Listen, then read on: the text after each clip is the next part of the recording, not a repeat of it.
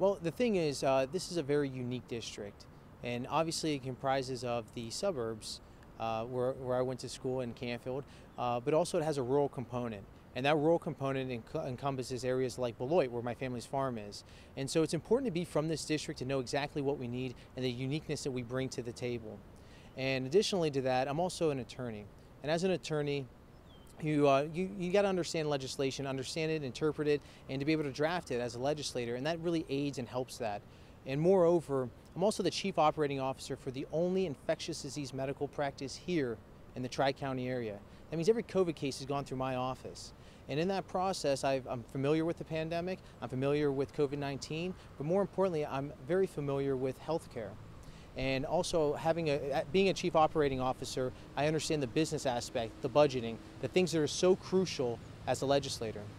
I believe that my combination of experience and education makes me the right person for this job. In my time, I have been a roofer, I've been a cabinet maker, I've been a landscaper.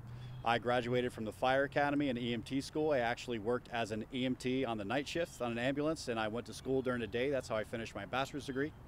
I have been a tour guide to DC. I have written part of the state textbook for the Historical Society and participated in National Endowment for the Humanities programs. And I am a teacher. And I have been the vice president of operations for a statewide business, and I own my own publishing company, and I am the author of five children's books. So when you're talking about safety services or public service or business or labor, I'm the candidate that embodies all of those qualities and I think I'll be able to best serve the people of our district.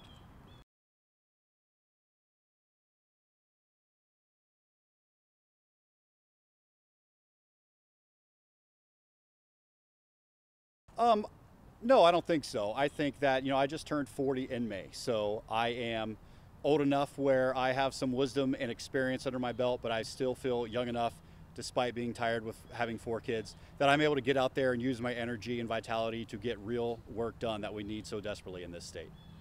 Well, I don't quite consider myself a politician just yet, but uh, but yes, I am 31 years old, and uh, but in that short period of time, I managed to uh, not only become an attorney and a practicing attorney, but I'm also a uh, chief operating officer. And one thing that I constantly keep hearing from different people uh, is that it's a breath of fresh air to have somebody new and excited to go down to Columbus and bring back good, solid legislation here to the Valley. And uh, they said it's, uh, it's, it's somebody that has um, uh, somebody who has so much potential and it's exciting. And so uh, I would say to answer your question, no, it's not a disadvantage, but rather an advantage for the Valley to have somebody who's going to go down there and bring a unique perspective and um, have uh, fresh eyes and clean hands.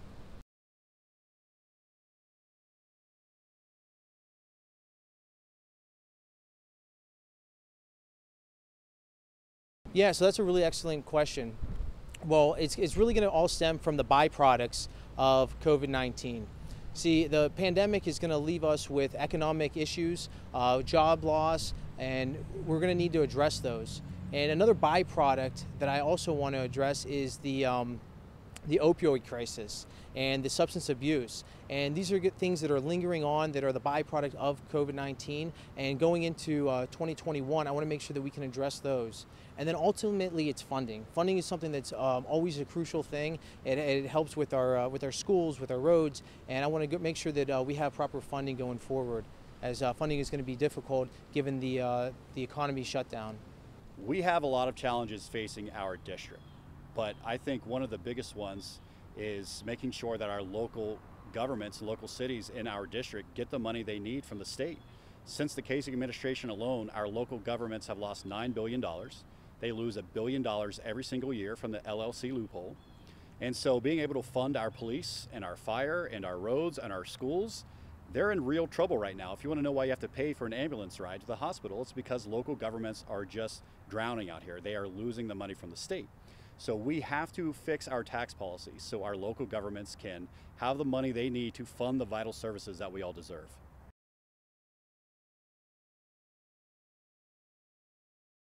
If I'm elected, the very first thing I want to do is start repealing House Bill 6. It's the most corrupt piece of legislation ever perpetrated against the people of Ohio. And all of our electric bills are going to be skyrocketing now because of it. And it was put through by the most corrupt politician in our state history. I think that is a place we can start because not only does that uh, save us money on our electric bills and it gets rid of bad policy. You know, we pay $100 million a year to a coal burning power plant in Indiana um, with that bill. But it also rolled back the clean energy standards, which takes us out of the 21st century economy. Because of that bill, this valley lost a factory that was going to give 1,200 union jobs. We need to start by repealing that and looking towards the future here in the valley. Yeah, the very first thing I want to do is make sure that I go down there and bring back as much funding as possible. And uh, I want to continue doing what I've done so far, which is uh, get funding. Bring. I brought back hundreds of thousands. I brought back uh, um, hundreds of thousands of dollars back here to the area, and uh, specifically for. Um, for the schools, both uh, local schools, universities, and uh, recently I, I, had just written a, a, letter of support, and that support is, is had the opportunity to bring back some some funding for education on opioid crisis for, for teachers, for the awareness of it.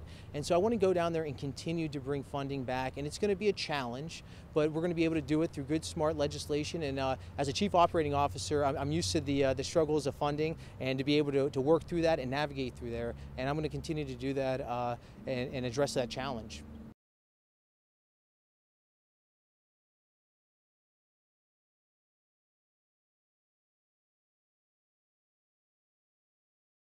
I'm glad you asked that question, and um, I'm going to take a moment to, uh, to really clear the air.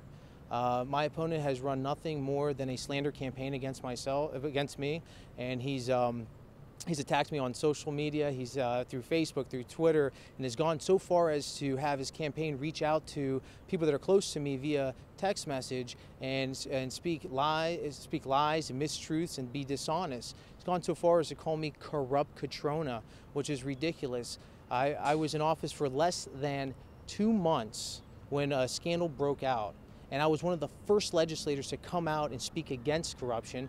I was one of the first legislators to co sponsor the repeal of House Bill 6, the very bill that he's trying to link me to, which I wasn't even in office at the time and he keeps spreading out these these uh, these lies, and, and he's gone so far as to continue on and say that that uh, that I passed out all these these mailers, which he knows it came from the state party and not from my campaign. And the final thing too is that he's gone on to say that I, I purchased my seat uh, from Columbus.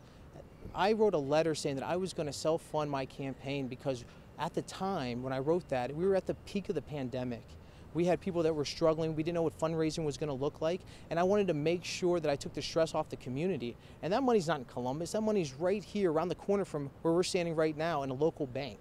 And he's uh, continued to, uh, to, to further on with these, uh, these, these lies and mistruths. And, and the biggest thing I want to make clear is that if, this, if my opponent is willing to lie and, and, and tell mistruths to the voters now just for self gain, Imagine for to, to try to win this race. Imagine what he would do if he was down in Columbus. I mean, when is enough enough?